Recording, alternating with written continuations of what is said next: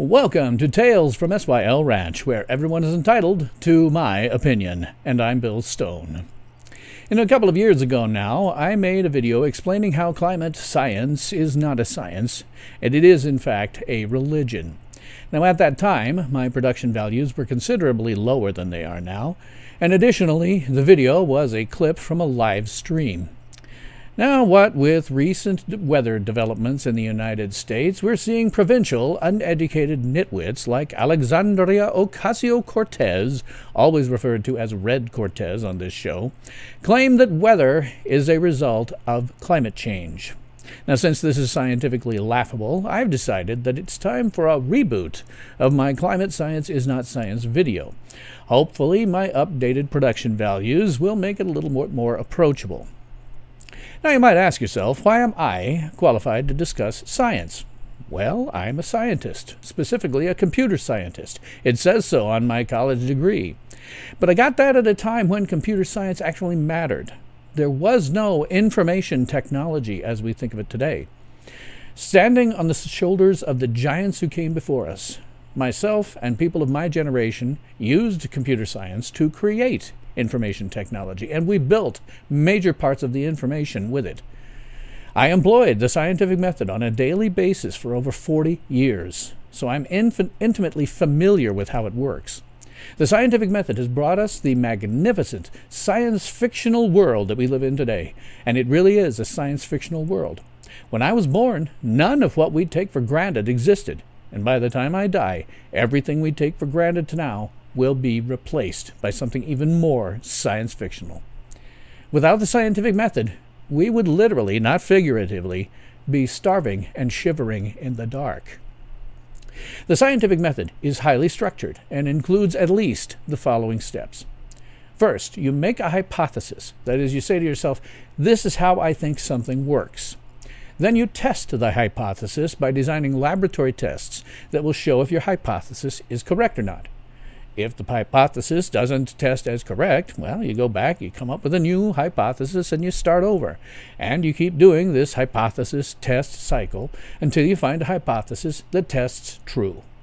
Then you hand it off to hundreds or even thousands of scientists worldwide, and they do the exact same experiments under the exact same conditions.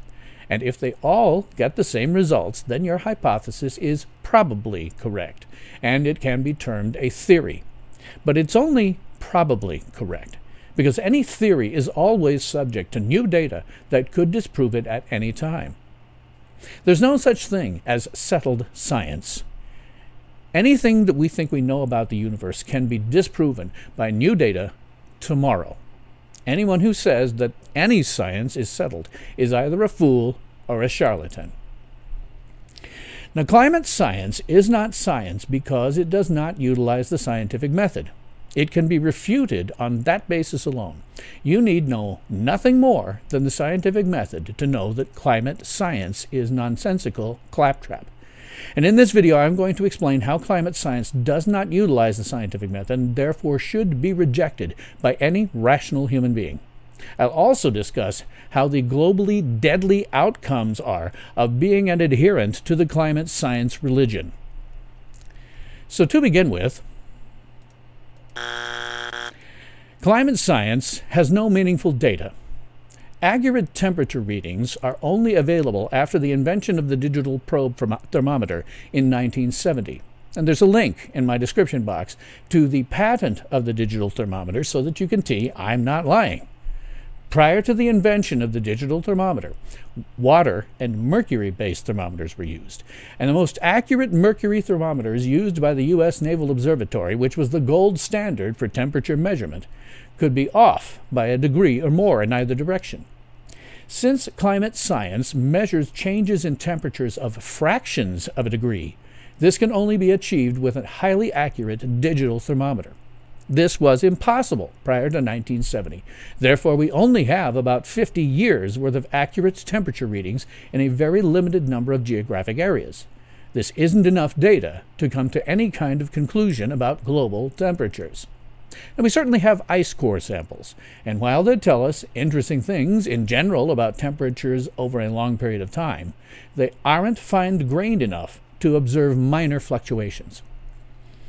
The global temperature operates in geological rather than human time.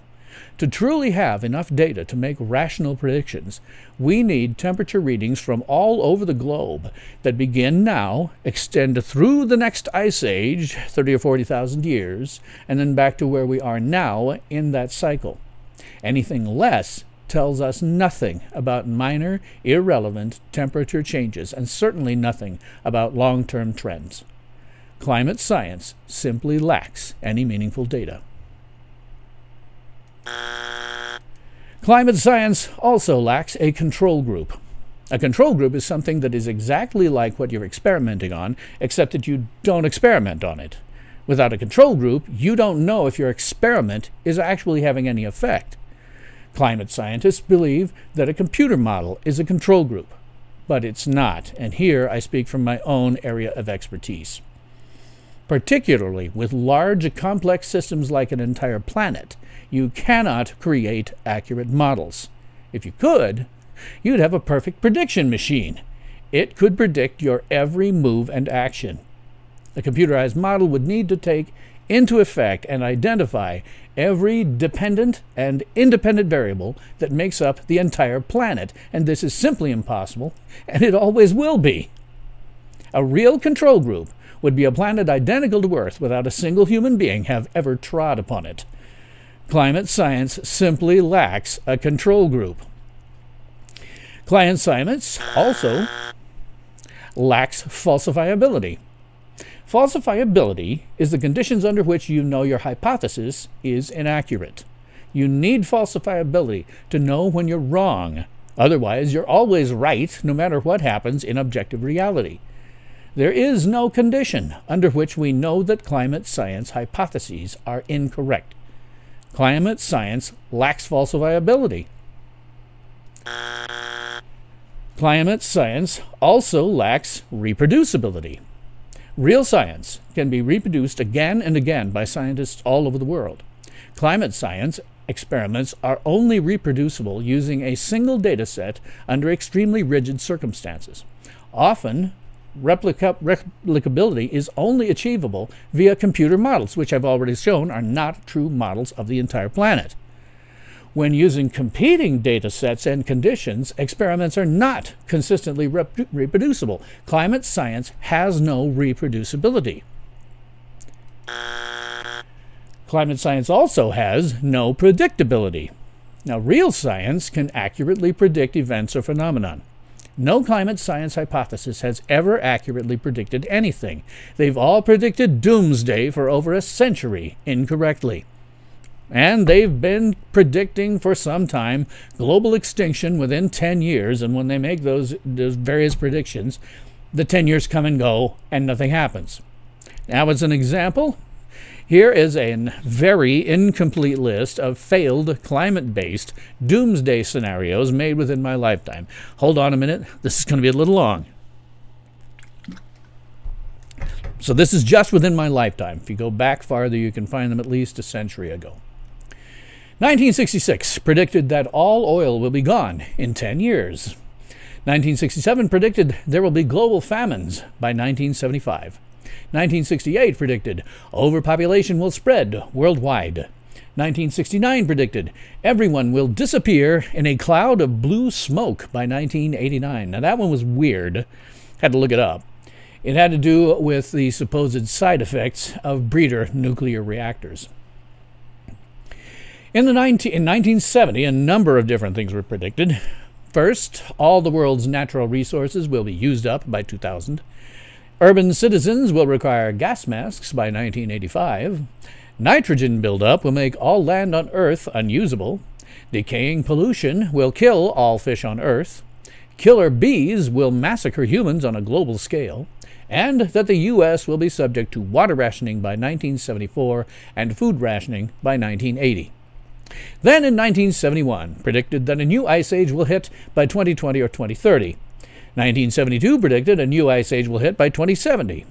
1974 predicted that satellite data showed an imminent ice age and that ozone depletion is an immediate danger to all life on Earth. 1976 predicted scientific consensus is that the Earth is cooling and that global famine is imminent. It was settled science. 1977, the U.S. Department of Energy said that oil will peak in the 1990s. In 1978, it was predicted that there was no end in sight to the 30 year cooling trend.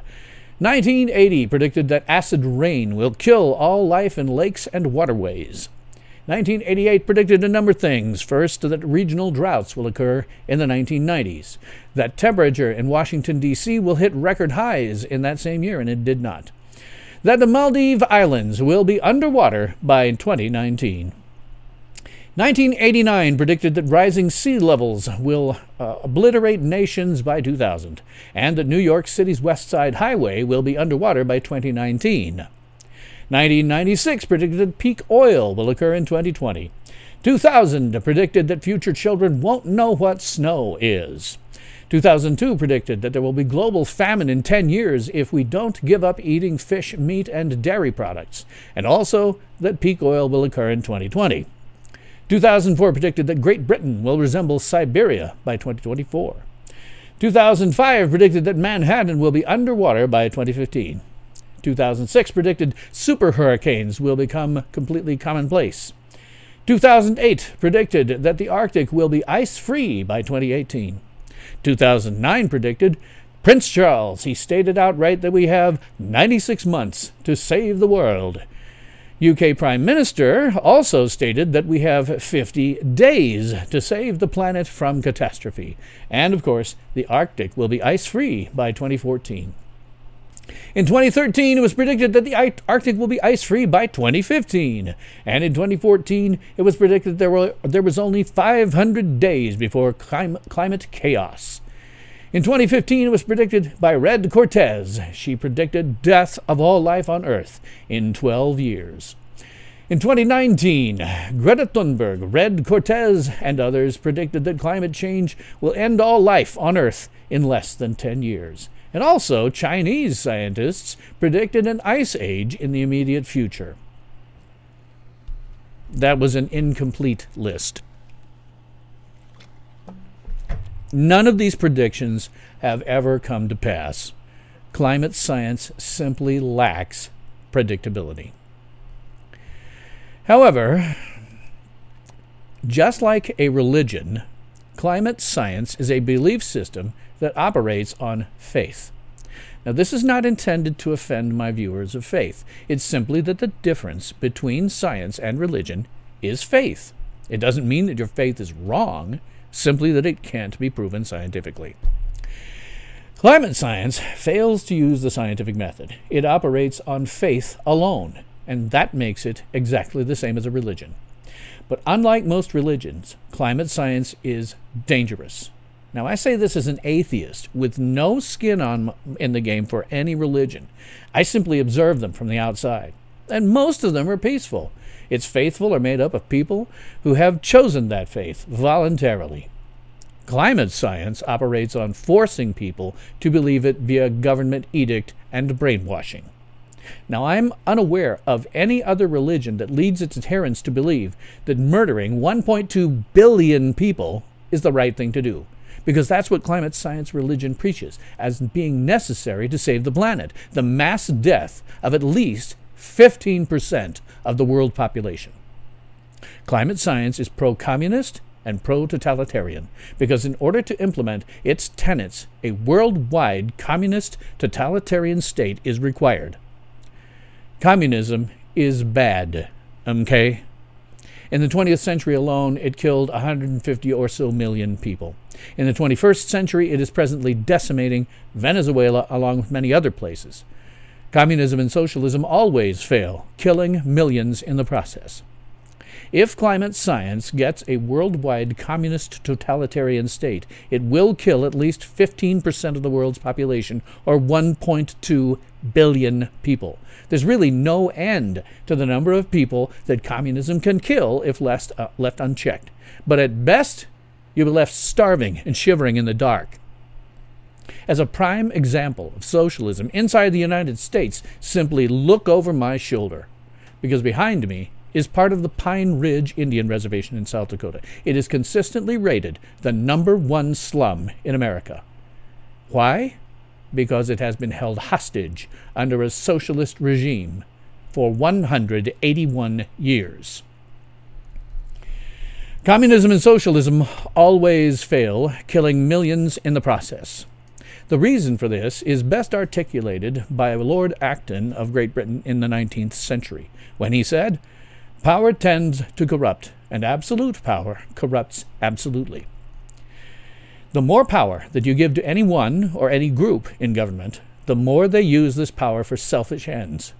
Those ends rarely, if ever, include the good of those that they rule. This is why the United States owned federal government is riddled from top to bottom with power mad sociopathic narcissists. They simply pursue more and more power entirely at the expense of the citizenry.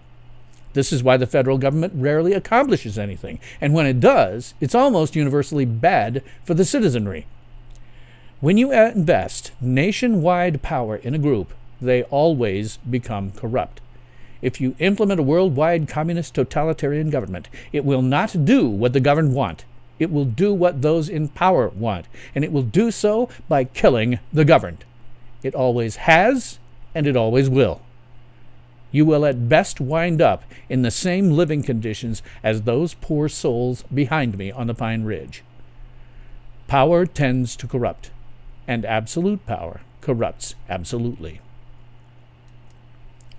And that's all that I have to say about that. I would love to keep the conversation going, so please leave your com comments, questions, and nasty remarks. I'll do my best to respond. So thanks for watching. That's all the time that we have today for this episode of Tales from SYL Ranch, where everyone is entitled to my opinion. And I'm Bill Stone.